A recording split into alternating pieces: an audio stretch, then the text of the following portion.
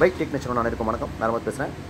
இது என்னென்னு பார்த்தீங்கன்னா Honda CVR one fifty CC இதில் என்ன பிரச்சனை அப்படின்னு பார்க்கும்போது அந்த கூலண்ட் ஹீட் காமிக்கும் பார்த்தீங்களா சிம்பிள் அந்த ஒரு நாலு ஆறு அல்லது ஏழு கோடு வரும் சில வண்டிகளில். இது என்ன ஆகுதுன்னா அந்த மூணு கோடு வர வரைக்கும் எந்த பிரச்சனையும் இல்லை. அந்த மூணு கோட்லேருந்து நாலாவது கோடுக்கு மாறும்போது என்ன ஆகுதுன்னா ரேடியேட்டர் வந்து பாயில் ஆகுது. நான் என்ன பண்ணேன் ரேடியேட்டர் கேப் கழட்டி கூலிங் ஊற்றி கூலர் ஊற்றி வச்சுருந்தேன். கூலிங் கூலிங் ஆயில் அந்த கூலண்ட் ஊற்றி வச்சுருந்தேன் அது என்ன ஆகுதுன்னா வண்டி வந்து மூணு கோடு வர வரைக்கும் எந்த பிரச்சனையும் இல்லை கரெக்டாக இருக்குது. அந்த நாலாவது கோடுக்கு அந்த ஃபேன் ஓடுற ஸ்டேஜில் வரும்போது பார்த்திங்கன்னா அந்த கூலண்ட் வந்து வெளியே இருக்குது வெளியிலேருந்து வெளியே வந்துடுது அதாவது ஃபேன் வந்து கரெக்டான ஹீட்டில் ஓடல. அதான் பிரச்சனை. ஃபேன் ஓடி இருந்தால் அந்த கூலண்ட் வந்து இது மாதிரி குதிச்சு குதிரைகளை அடைஞ்சு வெளியே வராது. அது கூல் பண்ணியிருக்கோம் ஸோ அப்போ நம்ம ஈஸியாக புரிஞ்சுக்கலாம் அந்த வண்டியில் ஃபேன் ஓடலன்றதை புரிஞ்சுக்கிட்டோம். சார் ஃபேன் வந்து எதனால் ஓடலை அப்படின்னு பார்க்கும்போது நம்ம ஆல்ரெடி இந்த என்எஸில் வந்து ஒரு வீடியோ பார்த்தோம். ஃபேன் ஓடலனா ஒரு ஃபோர் பின் டிலே வரும். அப்புறம் ஈஸியோட ஒயர் எர்த்து எடுத்து பண்ணால் எப்படி ஓடும் தெரியும். அதே மாதிரி இந்த சிடிஎஸ் சென்சார் அதாவது கூலன் டெம்பரேச்சர் சென்சார் வந்து வண்டி ஸ்டார்ட் பண்ணும்போது அது கழட்டி விட்டால் என்ன ஆகும்னா அந்த ஃபேன் ஓடும். அந்த கூலன் டெம்பரேச்சர் சென்சாரை கழட்டி விட்டு அந்த ஃபேன் ஓடிச்சுன்னா இந்த வண்டியில் வந்து ஒயரிங் சம்மந்தமாக எந்த ஒரு பிரச்சனையும் இல்லைன்றதை நம்ம ஈஸியாக வந்து அனலைஸ் பண்ணிக்கலாம். ஈஸியாக தெரிஞ்சுக்கலாம். ஸோ அந்த வகையில் நான் என்ன பண்ணேன்? வண்டியை ஸ்டார்ட் பண்ணிவிட்டு அந்த கூலன் டெம்பரேச்சர் சென்சாரை வந்து கழட்டி வெளியே எடுத்துட்டேன். சாக்கெட்டை கழட்டி வெளியே எடுத்துட்டேன். வெளியே எடுத்துனா பார்த்தீங்கன்னா வண்டியில் வந்து அந்த ஃபேன் வந்து கரெக்டாக ஓடுது. ஸோ நமக்கு வந்து இப்போது அந்த சென்சார் மேலே சின்ன சந்தேகம் வரும். ஆனால் சென்சார் வந்து இப்போ தான் சமீபத்தில் மாற்றிருக்காங்க அதனால் வந்து சென்சார் மேலே வர சந்தேகமும் போயிருச்சு.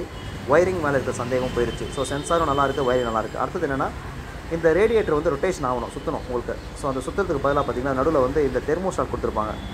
இந்த தெர்மோஸ்டாட் என்ன ஆகுனா ஒரு எண்பத்தொம்போது டிகிரி கிராஸ் பண்ணும்போது இது கொஞ்சம் கொஞ்சமாக ஓப்பன் ஆகும். இது வந்து பார்த்திங்கன்னா ஓப்பன் ஆகலை.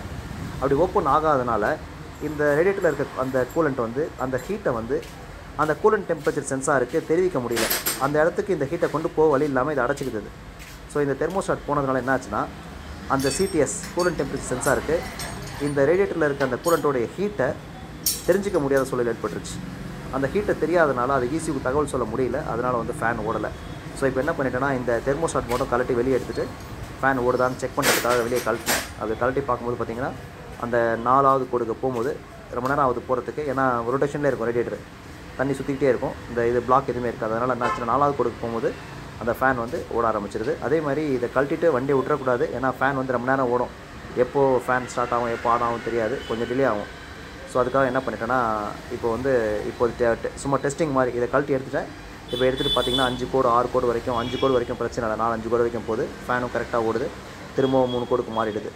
ஸோ இப்போ வந்து ஒரு புது பிரச்சனை என்னென்னா இந்த தெர்மோஸ்டாட் போனால் கூட ரேடியேட்டர் வந்து பாயில் ஆகிறதுக்கு வாய்ப்பு இருக்குது அதாவது இது வந்து அந்த சிடிஎஸ் கூலண்ட் டெம்பரேச்சர் சென்சாருக்கு சரியான ஒரு ஹீட் தகவலை கொடுக்க முடியாத ஒரு சூழலை ஏற்படுத்தும். இந்த கூலண்ட்டுடைய ஹீட்டை வந்து அந்த சென்சாருக்கு இது இந்த கேப் திறந்திருந்தா இந்த வால்வு திறந்துருந்தா அந்த சென்சாருக்கு வந்து தெரிவிக்கும். அப்படி இந்த வால்வு திறக்காத நேரத்தில் அந்த சென்சாருக்கு தெரிவிக்க முடியாது. அப்படி தெரிவிக்காத நேரத்தில் அந்த ஃபேனால் ஓட முடியாது அப்படின்றத தெரிஞ்சுக்கிட்டேன். ஸோ இது ஒரு பதிவு இது.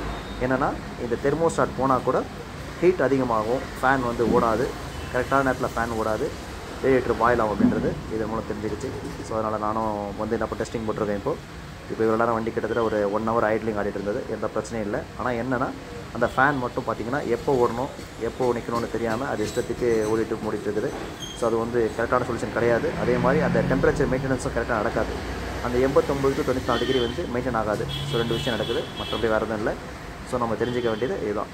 இந்த தெர்மோஸ்டாட் போனாலும் இது மாதிரி நடக்கும். வண்டி ஹீட் ஆகும். ரேடியேட்டர் பாயில் ஆகுன்றது தெரிஞ்சுக்கிட்டோம். நன்றி வணக்கம்.